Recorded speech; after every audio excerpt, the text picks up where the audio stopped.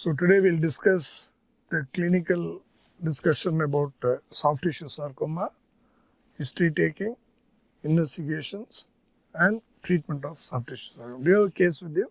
Yes, sir, I have a presentation to me. Start with the presentation. So, uh, my patient is uh, Mr. X, who's a 66 year old male, who's a daily wage worker by occupation, residing in Rajajipuram. He presented with chief complaints of swelling over left side of the abdomen over the past two years. Okay, the age is important, right? Yes, sir. As such, sarcomas and soft tissue sarcomas are common in younger age. Yes, sir. All the more if you say osteogenic sarcoma, that is bone separate apart. Yes. Even soft tissue tumors are more commoner in younger age.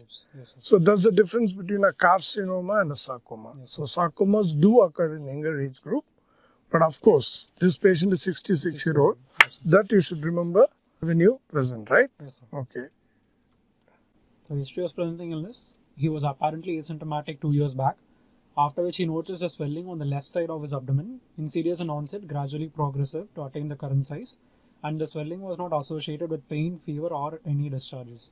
So obviously, why did you ask about pain, fever, and discharge? There could any swelling we should ask about pain. So like uh, it could be an infectious or inflammatory in origin, then they'll present with pain.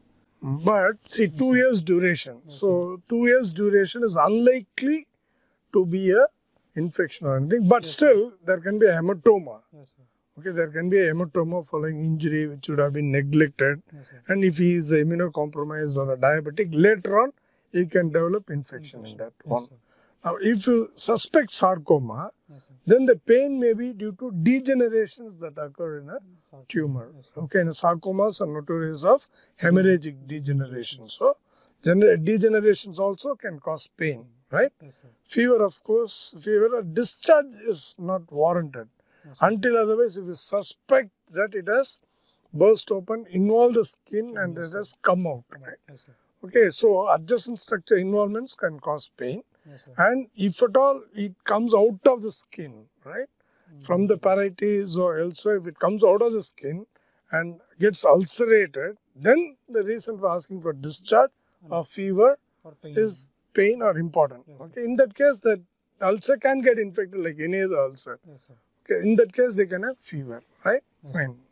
Uh, in terms of negative history, patient had no history of loss of ap- weight or appetite, no altered bowel habits, no history of trauma, uh, no swelling elsewhere in the body, no history of breathlessness, cough or hemoptysis, no history of hematuria. Why did you ask about swelling elsewhere in the body? Cases of neurofibromatosis, there can be swellings all over the So body. specifically, if it is von Recklinghausen's Von disease, disease, okay, it can be. Uh, yes, so they can have swelling elsewhere in the body. Yes. What else they have von Recklinghausen's? Neurofibromatosis. They can also have café au lait spots. Yes, okay, Café au lait spots also can be there, right? Sir. Among neurofibromas, okay, von Recklinghausen's have a higher incidence Yes, when compared to the other nerve sheath tumors, Yes, right? So that's why you should ask about Swelling. elsewhere. swelling elsewhere in the body. Another important thing why you are asking is to rule out any lymph nodes. Yes. Okay, so two years you would have had a sarcoma, but certain sarcomas, while in the discussion we will discuss, can go to lymph nodes. So that also will help you to do that. Why did ask about breathlessness, cough, and hemoptysis? They are uh, notorious to spread to the lungs. though. Mostly it involves the lungs, okay? So cough with hemoptysis is important, Yes, right? Sarcomas as a hematogenous spread Yes, and lung being the first filter can get secondaries and those secondaries are usually cannonball secondaries Yes, and they can produce with cough, Cough and and hemoptysis. Oh, why you want to ask about hematuria? It's abdominal swelling in the lumbar region. So, so I wanted to just ask about uh, renal cell carcinomas in general. Mainly there will be hematuria in RCC than a swelling. Yes, sir. Anyway, certain tumors like uh, oh, which tumor in uh, kidney can present with a lump?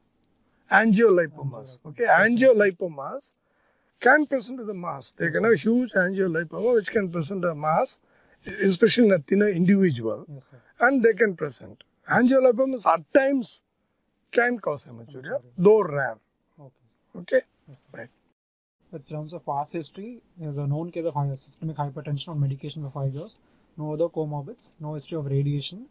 Uh, no nil significant surgical history. Sir.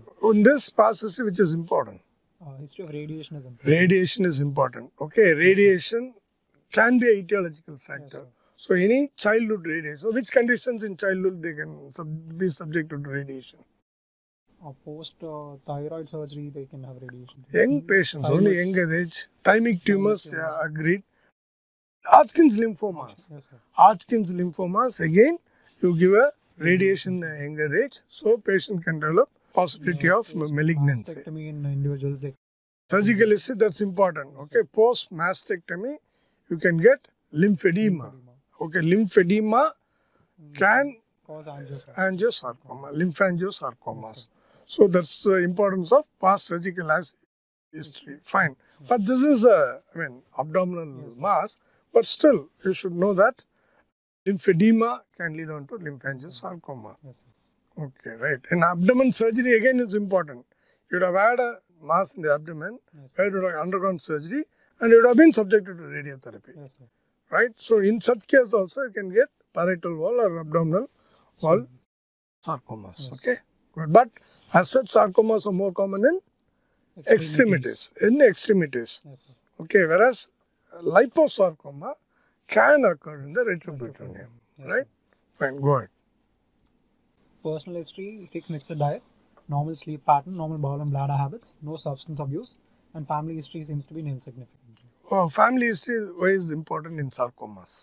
They can be uh, predisposed to certain genetic uh, conditions, sir, like uh, familial adenomatous polyposis that can uh, predispose to desmoid tumors. Very good. And uh, other syndromes like Gardner syndrome. Gardner syndrome can present with multiple Yes, desmoids sir. and von Recklinghausen's disease. Again, it's a familial condition, right? Yes, sir. It's a Mendeli, Mendelian autosomal dominant disorder. Even that can present with family history of. Okay, so you have to ask about family history, which is important, right? Yes, sir. Fine. Then